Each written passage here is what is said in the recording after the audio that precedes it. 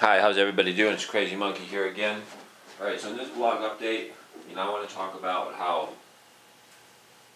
we're going to save the family, we're going to save marriage, we've got to eliminate welfare, we got to eliminate alimony, got to eliminate vagina money, and another thing we got to do is legalize prostitution.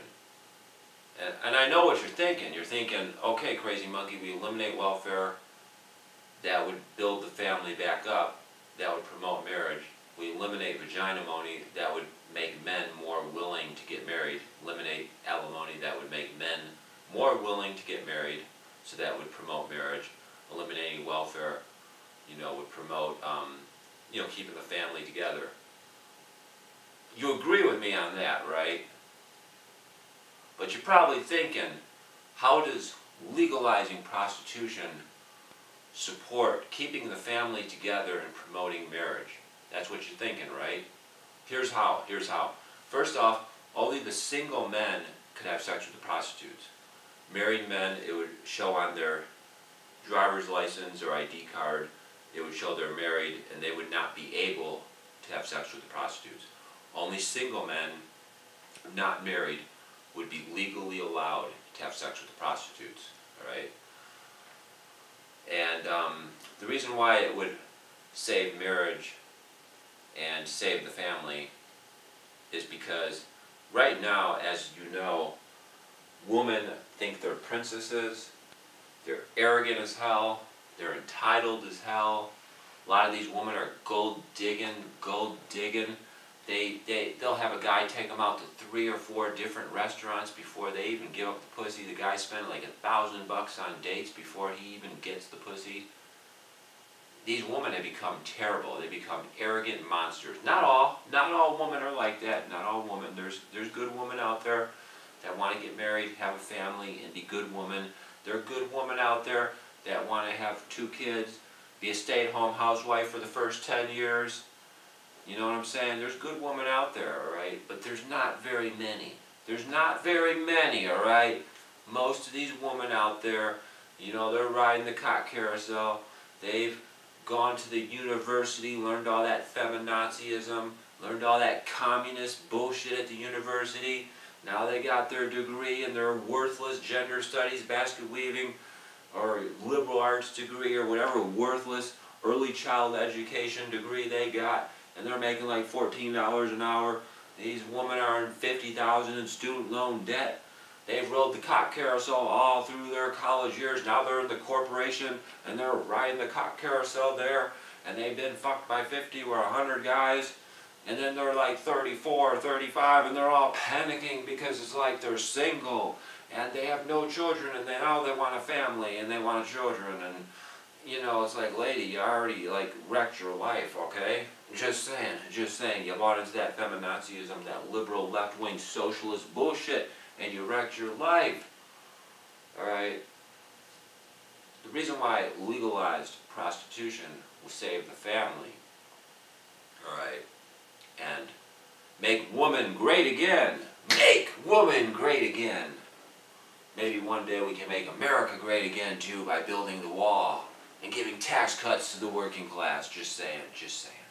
Just saying.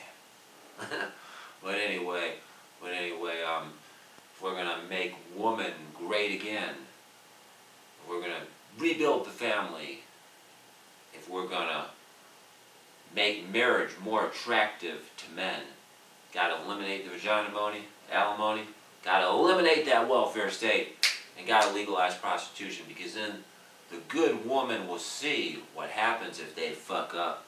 That's right, good lady you fuck up, you cheat on your husband multiple times, you have a baby by another man, you're cheating on your husband with, with like Chad and Tyrone and all these other guys, and one of them gets you pregnant and you have a baby with another man.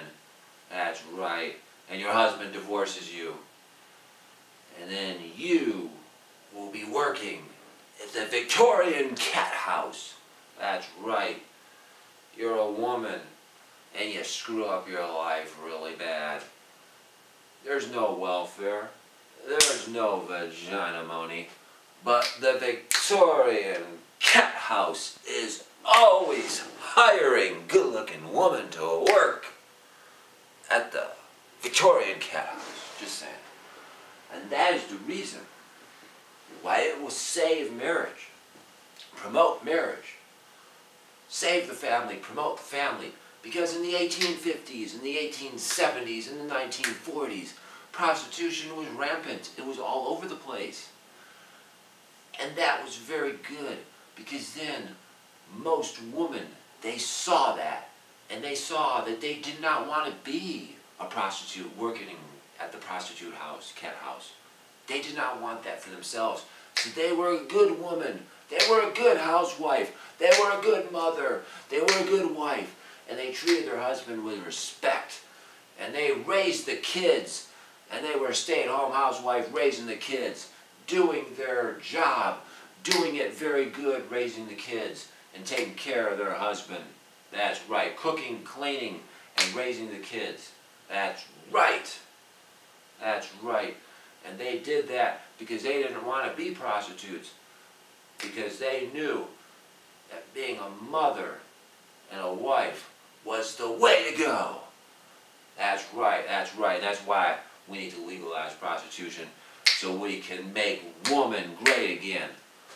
And, and, and folks, one more time, I gotta say this real quick.